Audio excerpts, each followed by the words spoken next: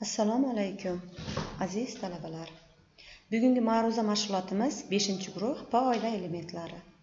Demak dars rejasi e, 5 guruh elementlari haqida umumiy tavsif azot azot birikmalari nitrat kislota va uning tuzlari fosforning oksidlari va kislotalari haqida gapirishdan iborat.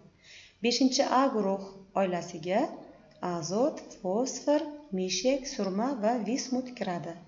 Bu guruh elementlari atom tashqi qavatida beshtadan elektron mavjud. Demak bular uchun ns2 np5 umumiy elektron konfiguratsiya xos. Ular uchta elektron biriktirishi yoki beshta elektron yo'qotishi mumkin. Shuning uchun bu elementlar plyus besh plyus uch minus uch oksidlanish darajalarini namoyon etadi. Bu guruh elementlari asosan metalmaslar metalmas xossalari azot fosforda yaqqol namoyon bo'ladi. Mishyak surma vismut qatorida metalmaslik xossalar bilan birgalikda metallik xossalari ham namoyon etadi. Ayniqsa metallik xususiyati vismutga qarab kuchayib boradi. Azot nitrogenium. bir ming yetti yuz yetmish ikkinchi yilda rezerford tomonidan ochilgan. Lavaziya uni azot deb atagan. Azot juda ko'p tarqalgan elementlar jumlasiga kiradi.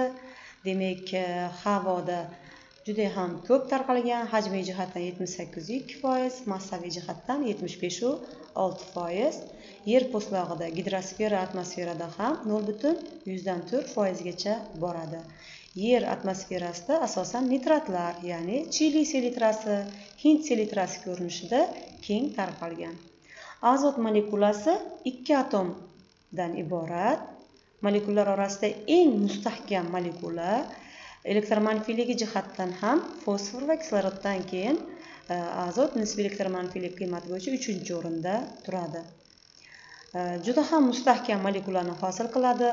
Azot azot bog'i uch bog'lar orqali bog'langan.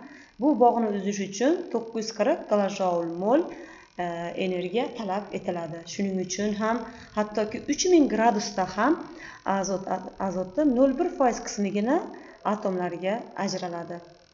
Azot oddiy sharoitda gaz uning suyuqlanish harorati minus ikki yuz o'n gradus selsiy qaynash harorati minus bir yuz to'qson beshu sakkiz gradus selsiy haroratlari juda ham past suvda va boshqa erituvchilarda yomon eriydi.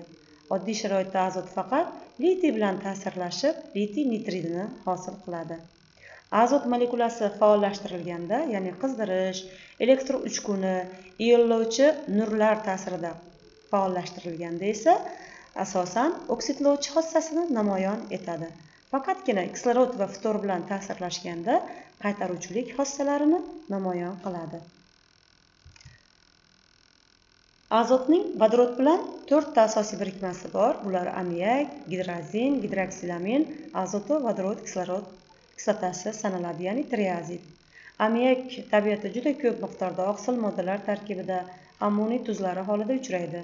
Ammiak rangsiz gaz o'ziga xos hidi bor. Azotning asosiy qismi ammiak olish uchun ishlatiladi.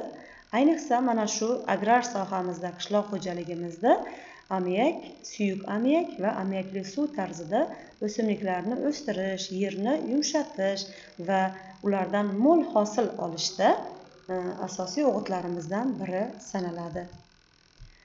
Laboratoriyada e, demak e, asosan ammiak ammoniyli tuzlariga ishqor ta'sir ettirish orqali olinadi. Bundan avval ammiakni olinishdan avval azotni aytib o'tishimiz darkor. Azotimiz esa demak ammoniy nitritni qizdirish parchalash orqali olinadi. Buning uchun natriy nitritga demak ammoniy xlorid ammoniy sulfat kabi eruvchan ammoniyli tuzlar ta'sir ettirilganda ammoniy nitrit hosil bo'ladi. Biroz qizdirganimizda esa demak azot molekulasi hosil bo'ladi. Laboratoriya mashg'ulotlarimizda azotni olinishi ammiakni olinishi bo'yicha laboratoriya mashg'ulotlarida berib ko'rsatib o'tamiz. O'ta toza azotni olish uchun natriy azidini parchalab olish mumkin. Demak hali aytib o'tganimdek e, azotning katta qismi ammiak ishlab chiqarishda e, foydalaniladi. Bundan tashqari kimyo sanoatida inert atmosfera e, hosil qilish uchun ham toza azotdan foydalaniladi. Demak ammiak ammiak demak ammoniy tuzlariga ishqor ta'sir ettirish orqali ham shuningdek kalsiy oksidi oksid ta'sir ettirish orqali ham olish mumkin. Nitritlarni gidrolizida ham ammiak hosil bo'ladi. Ko'rib turganingizdek magniy nitritni e, gidrolizida demak ammiak gazi hosil bo'lyapti. Sanoatda ammiak toshko'mirni koksga aylantirilganda hosil bo'ladi. Azot va vodorodda ammiak sintez qilish taber usuli ham deyiladi.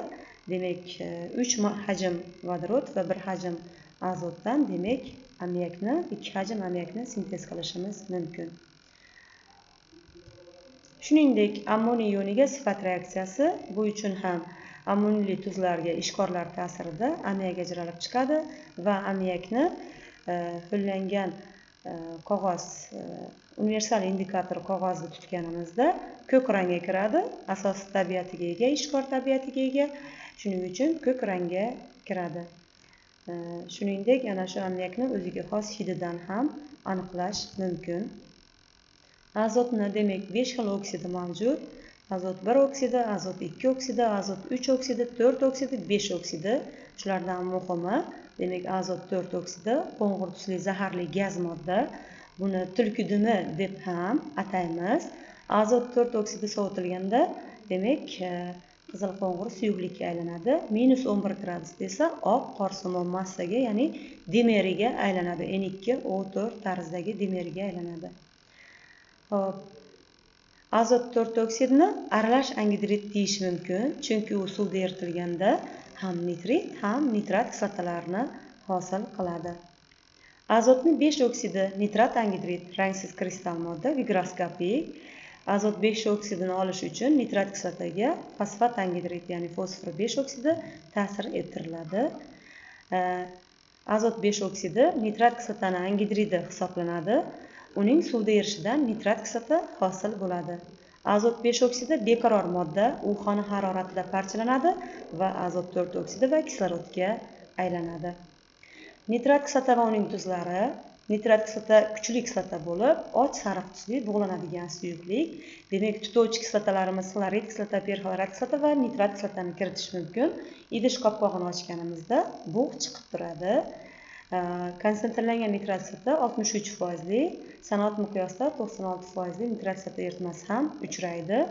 Laboratoriyada nitrat kislotani tuzlariga yuqori konsentratsiyali e, demak sulfat kislota ta'sir ettirib olinadi. Demak natriy nitrat tuziga sulfat kislotani ta'sir ettirilganimizda nitrat kislotani olishimiz mumkin. Sanoat miqyosida esa nitrat kislota olish uchun asosiy xomashyo ammiak va havo. Demak ammiak yondirilganda azot to'rt oksidi azot to'rt oksidiga havo kislorodi orqali yana azot azot ikki oksidini havo kislorodi orqali azot to'rt oksidiga aylantirib uni suvda eritib nitrat yoki nitrit kislotalarga yoki azot to'rt oksidi molekulyar kislorod va suv ta'sirida faqat nitrat kislota olish mumkin. Demak nitrat kislota nitratlar mineral o'g'itlar olishda selitralar uchun asosiy xomashyo sifatida ishlatiladi. Qishloq xo'jaligida demak o'simliklardan mo'l hosil olishda e, asosan selitralarni o'rni beqiyos anorganik va organik nitritlar qon tomirini kengaytirish uchun ishlatiladi. Ularga natriy nitrit nitroglitserin kiradi. Natriy nitrit boshqa birikmalar bilan aralashma holatida nafas olish yo'llarini mushaklarni kengaytirishda qo'llaniladi. Azotli o'g'itlar o'g'itlar sifatida kalsiy nitrat ishlatiladi. Ohakni nitrat kislota bilan neytrallash natijasida olinadi. Ko'proq kalsiy nitratimiz e, norvegiya selitrasi deb ham ataladi. Natriy nitrat chili selitrasi tabiiy holda faqat chilida juda katta zaxira holda uchraydi. Kaliy nitratimiz kaliyli selitra hind selitrasi deb ham ataladi. Sun'iy ravishda kaliy xlorid va natriy nitrat ta'siridan olinadi. Ammoniyli selitra ammoniy nitrat ham ko'p ishlatiladi.